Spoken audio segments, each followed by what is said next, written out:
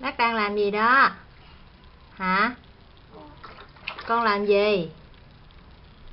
Con làm gì nói mẹ nghe coi. Hả?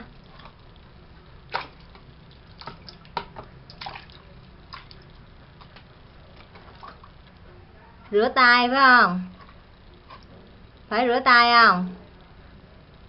Phải không con? Sạch chưa? Sạch. Sạch. Chưa? rồi Dạ. Dạ sạch rồi.